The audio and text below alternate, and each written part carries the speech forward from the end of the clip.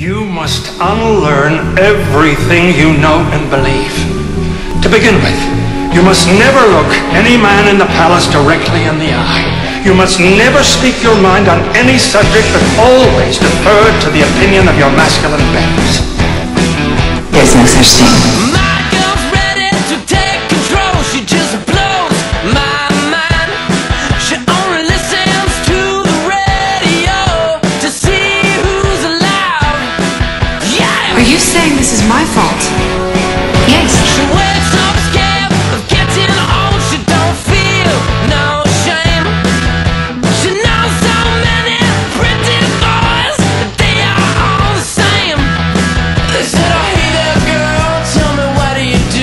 said everything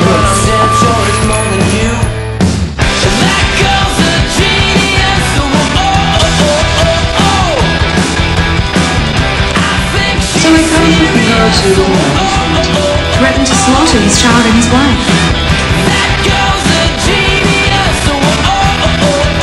What do you mean? You're dying.